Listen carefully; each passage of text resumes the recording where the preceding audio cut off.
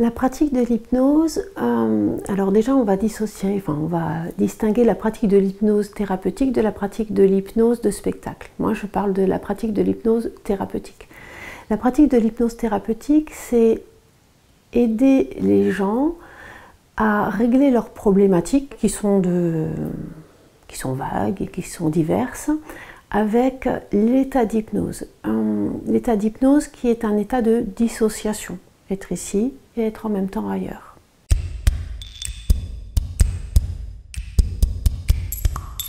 L'hypnose ericksonienne euh, repose principalement sur euh, des suggestions, des suggestions qui sont des suggestions indirectes, des propositions à l'inconscient.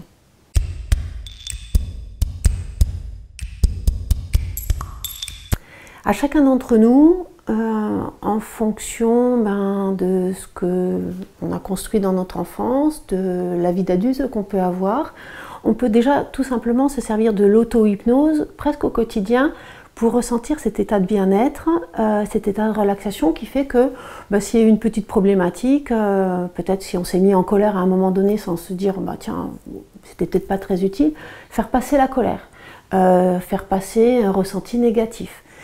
Euh, on peut utiliser aussi l'hypnose pour faire euh, travailler sur des phobies, travailler sur euh, l'arrêt du tabac.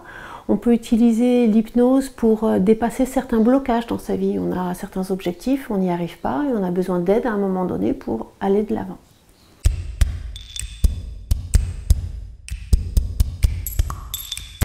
J'ai accueilli une jeune femme. Je ne me souviens même pas pourquoi elle était venue. Euh, je me souviens juste que dès la première séance d'hypnose, je me rends compte qu'elle part profondément en hypnose, ce qui n'est pas le cas de tout le monde, ce qui n'est pas non plus un gage de, réussite. Hein. Mais elle part profondément en hypnose. Elle était sur mon côté gauche. Euh, je fais mon induction, je vois qu'elle part, et si je suis attirée par sa main droite, je ne sais pas pourquoi, mon regard se pose sur sa main droite, et, et dans ma tête, je me dis, elle a la main droite qui est en lévitation. Sa main droite, elle est en haut comme ça alors que j'avais pas induit de, lévitation. Et non, sa main droite, elle était posée. Et je regarde sa main droite et j'avais un sentiment, mais sa main droite, elle est en haut, sa main droite, elle est en haut, c'est bizarre ce truc, alors que la main droite était posée. Elle revient après le travail, elle me dit, mais oh, c'était bizarre, j'avais ma main droite, elle était là.